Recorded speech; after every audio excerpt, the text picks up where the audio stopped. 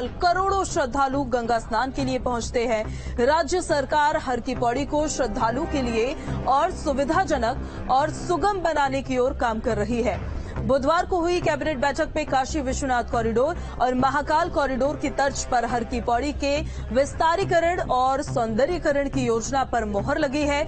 मुख्यमंत्री पुष्कर सिंह धामी ने कहा है कि हर की पौड़ी को श्रद्धालुओं के लिए सुगम और बेहतर बनाने का काम अब जल्द शुरू हो जाएगा। हर की पौड़ी पर कॉरिडोर बनाया जाएगा। धामी कैबिनेट में ये अहम फैसला लिया गया। माँ गंगा का तट हरिद्वार, यह भी जो है एक हमारा मैं कहूँ कि विश्वव्यापी स्थान है। इसका भी एक कॉरिडोर बनना चाहिए। उसके लिए हम लोगों ने कल कैबिनेट से इसका प्रस्ताव पारित किया है कि निकट भविष्य में हमको उसी तर्ज पर गंगा जी का ये तट ये धर्म नगरी और मैं कहूँ माया नगरी, हरिद्वार भी उसी तर्ज पर विकसित हो। उसके लिए हम लोग आगे प्रयास करेंगे।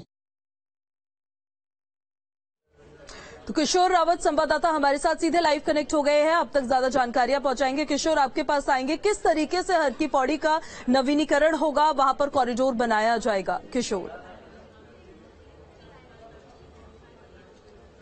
देखिए, हरिद्वार की हर पैड़ी न सिर्फ़ उत्तराखंड बल्कि देश विदेश में इसकी विख्यात है, प्रसिद्ध है।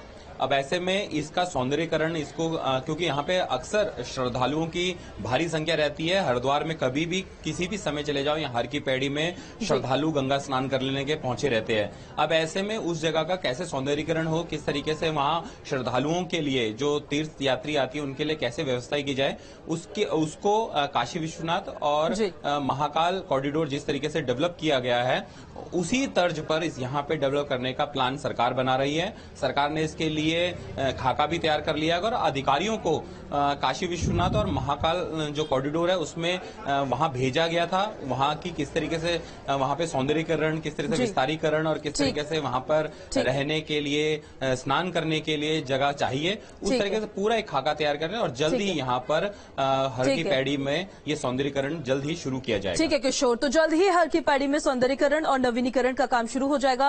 आप बने रहिए हमारे साथ। आपके पास वापस लौटूँगी अप्रैल के अंतिम हफ़्ते से चारधाम यात्रा की शुरुआत होने जा रही है। इसको लेकर शासन प्रशासन भी तैयारियों में जुट गया है। खुद मुख्यमंत्री धामी कल यात्रा को लेकर हुई तैयारियों पर अधिकारियों संग बैठक करने जा रहे हैं। सीएम ने बताया है कि पिछले साल की तरह इस बार भी चारधाम यात्रा में रिकॉर्ड तोड़ भीड़ जुटने की उम्मीद है और उसको लेकर तैयारियाँ की जा रही है। अप्रैल के आखिरी हफ़्ते से ये यात्रा शुरू होने जा रही है और तैयारियों को लेकर मुख्यमंत्री कल अहम बैठक करने जा रहे हैं। जो तमाम श्रद्धालु पहुँचते हैं चारधाम पर, उनके लिए किस तरह की सुविधाएँ होंगी, क्या व्यवस्थाएँ होंगी, उसको लेकर भी कल बैठक में चर्चा की जाएगी। चार धाम, क्योंकि पिछली बार भी हमारे लिए चुनौती थी और बहुत सारे काम पिछली बार और जो लोगों के सुझाव थे या हमें लगता है कि और अच्छे हो सकते हैं, हम कोशिश करेंगे कि उन सभी पर इस बार काम हो और जो कुछ काम हमें और करने की आवश्यकता थी, इस यात्रा में हम करें और सभी आने वाले लोगों के लिए यात्रा अच्छी हो। सभी लोग अपनी यात्रा अच्छे तरीके से आकर उनको किसी परेशानी का सामना न करना पड़े। और पिछले वर्ष बड़ी संख्या में यात्रियों की संख्या यहाँ जुटी है। लगभग 50 लाख के आसपास का जो आंकड़ा है, इस बार हमारे पास जो पहले से ही सूचनाएँ आ रही हैं, ये आंकड़ा उससे भी अधिक जाने वाला है, इसलिए हम और ज़्यादा उसकी तैयारी करेंगे और अच्छे तरीके से और किशोर हमारे साथ लगातार बने हुए हैं। किशोर, अप्रैल के अंतिम हफ़्ते में ये यात्रा अब शुरू हो जाएगी। इस बार यात्रा को सुगम बनाने के लिए किस तरीके की व्यवस्थाएँ होंगी? सीएम धामी की भी कल बैठक होने जा रही है। बिल्कुल सचिवालय में कल एक बड़ी बैठक होने जा रही है जो चारधाम यात्रा से जुड़ी है और चारधाम यात्रा में किस तरीके से तैयारियाँ होनी चाहिए किस तरीके से प्रशासन को तैयारी करनी चाहिए क्योंकि पिछली बार भी करीबन छियालीस लाख छियालीस लाख से ज़्यादा यात्री पहुँचे थे। और अब ऐसे में क्योंकि इस बार एक महीना पहले अगर बात करें तो डेट आई है। फ़िलहाल तो बद्रीनाथ जी की डेट 27 अप्रैल की है और 18 तारीख को जो शिवरात्रि है उस दिन केदारनाथ जी की डेट डिसाइड हो जाएगी उसके बाद गंगोत्री और यमुनोत्री की।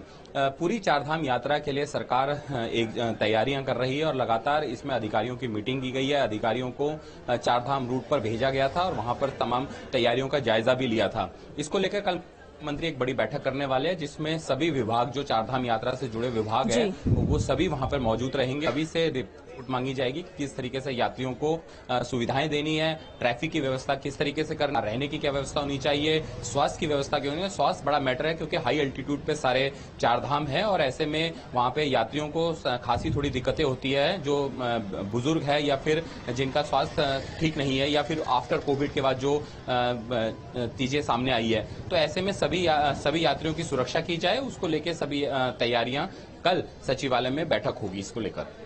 ठीक है किशोर आपके पास वापस लौटेंगे।